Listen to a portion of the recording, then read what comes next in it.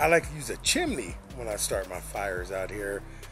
It just makes it easier to control. Yeah, who cares? you know why the hell you use a chimney starter. I'm not here telling you what the hell I'm doing or how to barbecue. Barbecue the way you want to.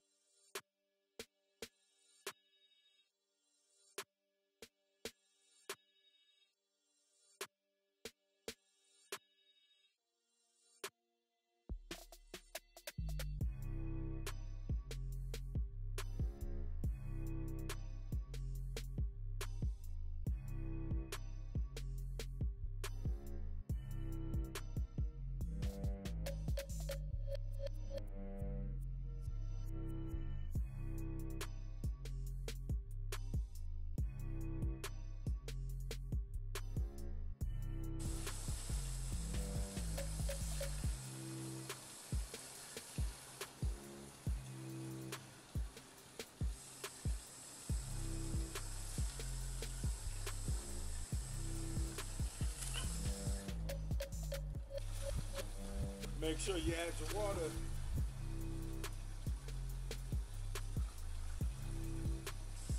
Uh, I can already smell the smoke starting to come up. Oh, that's my favorite thing. It's a very exciting, exciting smell.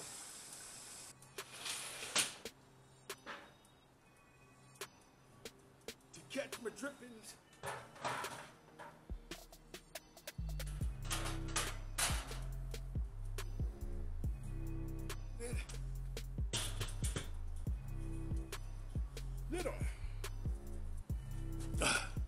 Now, we gotta let it get up to temperature before we can put the meat on.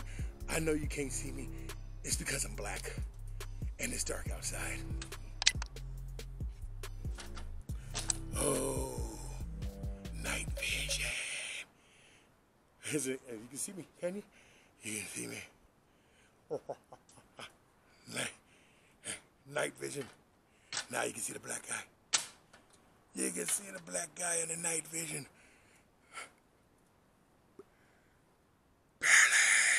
All right, look at that. The temperature is right there, up about 250. I'm gonna close the grates down a little bit more to get the temperature to drop a little bit more. I want it more down by the 225, but it's been sitting there for a while, so I think it's ready for me to go ahead and slap that beef up on here. Let's grab that meat.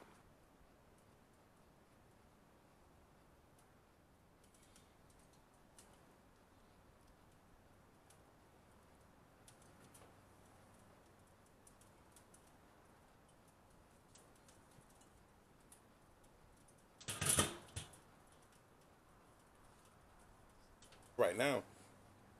We got the we got the meat on the smoker and it's 10:30 at night. I'm gonna come back out here in about four hours to um, maybe give it a little bit more fuel and uh, give it a couple little spritz of some apple juice, some vinegar, a little Worcestershire, some of that, just to keep it all nice and beautiful and juicy. But I'm gonna check on about four hours, give it some more some more love, and uh, I'll see you guys then.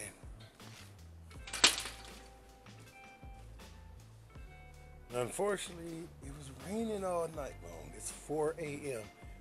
right now. Actually, let it stay on from 10:30 to 4 a.m. without ever touching it or even looking at it. And look at the temperature, right there, perfect, sitting perfect right in the middle. Oh my goodness. I got my spray bottle out here. I need to get rid of this. There it goes.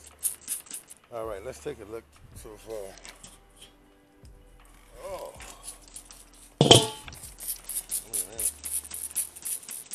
Maybe I can come out for the night vision. Man.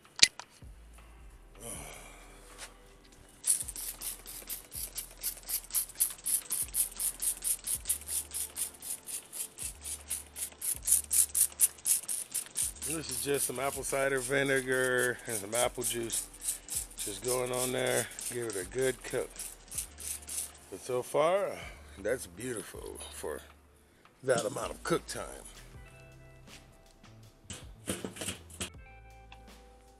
There you go, about 10 hours in. This is a beef shoulder clod. Look at it. It has some of the juices that's naturally collected underneath it That's all its juices that I let collect there. It's going to go right back in there again for another couple hours. I'm going to just wrap it in some aluminum foil, let it steam, let it get juicy. I'm going to add some more beef juice to it, and then we're going to eat it.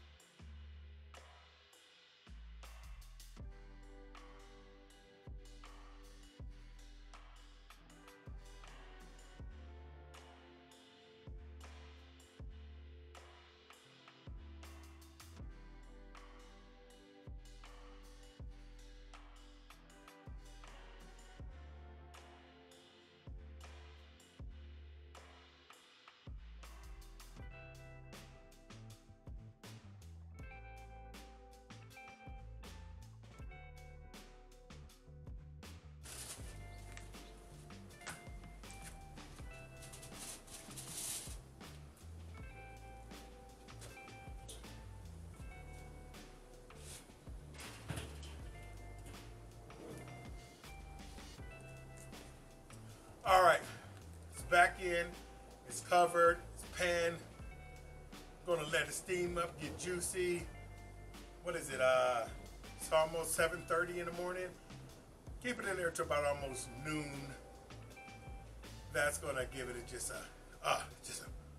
Ah, you'll see, you'll see. 14 hours in, 14 hours later. I'm tired, smell like smoke, but look at this beef shoulder clod right there. This is what you get. 14 hours in the smoke.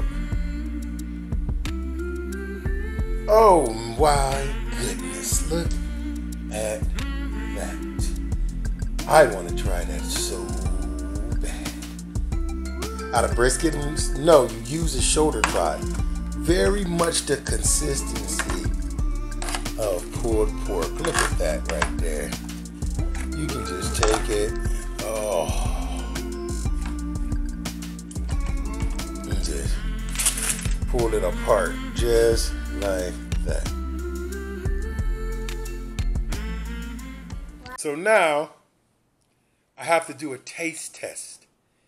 And for the taste test, I have a special guest with me. I'm talking about the breaker of chains, the mother of dragons herself, first of her name, the rightful queen of the Andals, Khaleesi herself. Right there. There you go, baby. Say hi. Say hi. You don't want to smile, Khaleesi? You want to? Uh, you want to say hi?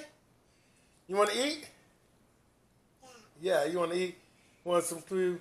All right, we're going to get you some. One of the things you got to remember too when it comes to meat is you don't want your meat to dry out. So you don't want to pull the whole thing at one time. You really just want to get the pieces that you're going to eat. Let's say we're going to eat this much right here. Look at that. Oh, look at that steam rising up out of it. Oh, look at that just coming apart right there. Look at that pulled beef. Just that simple right there. Put beef. Oh. Look at that. Now our Khaleesi, Mother of Dragons, Breaker of Chains, she loves the barbecue meat. Matter of fact, let me cover this because you don't want it to lose any of its heat. I let this rest. Actually, I took it off the smoker and it rests for about an hour, 20 minutes already. Oh, look, uh, she's already eating it. No sauce. With no sauce. You eating it. That's a barbecue baby right there. You want some barbecue sauce? Yeah, you do? At that. Let's put some sauce on there. Best thing, dude. Get it. Let's get some crackers.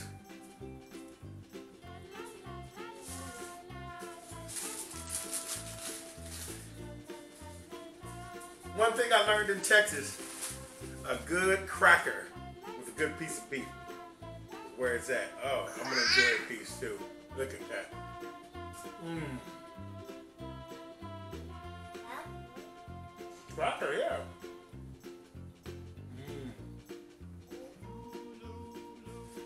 That's good. You just need barbecue sauce and crackers now? Well, that's all, guys, for um, me barbecuing this. I'm working on vlogs. This is the first vlog I ever shot. So, it was pretty fun. Do a lot more barbecue. There's a lot more things going on in my life that I'm to be sharing with you guys pretty soon.